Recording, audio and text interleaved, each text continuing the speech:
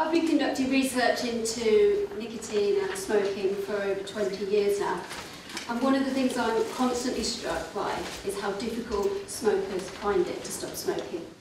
Whilst nearly 70% of smokers state that they want to quit, even with the use of nicotine replacement therapy, we're seeing long-term quit rates only reaching about 7% at one year.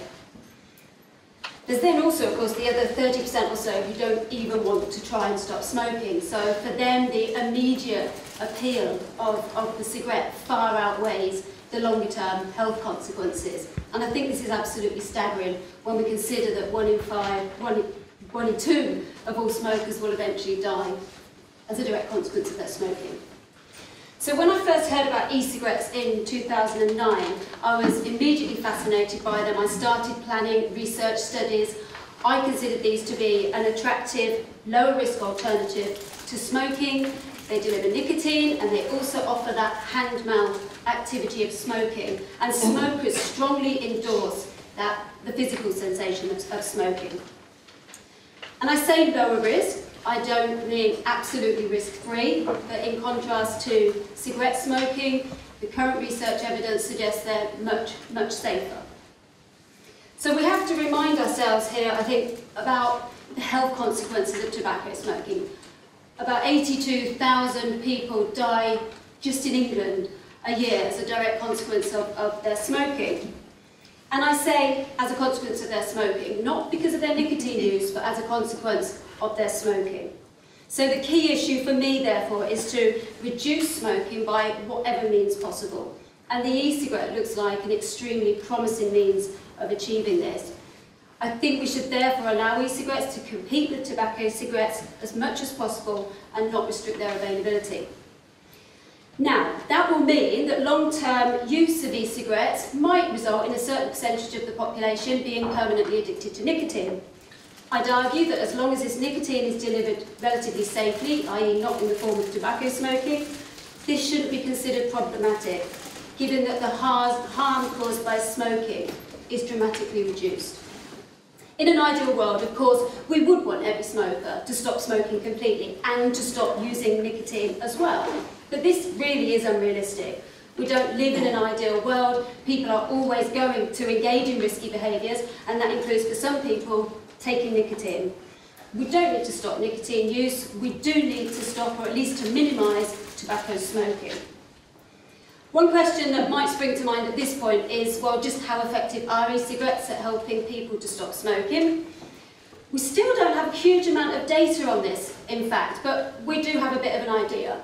So starting with a survey of e-cigarette users conducted by my team, of current e-cigarette users, 57% had said that they hadn't smoked for at least a couple of months since they started using the e-cigarette.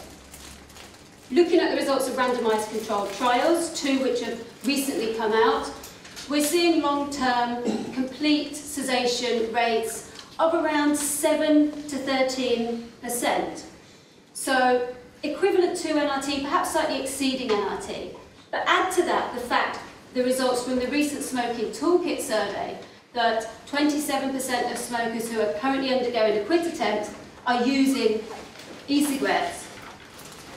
So even if they're only as effective as NRT, the fact that they have unprecedented reach overall means they could have a huge effect on public health.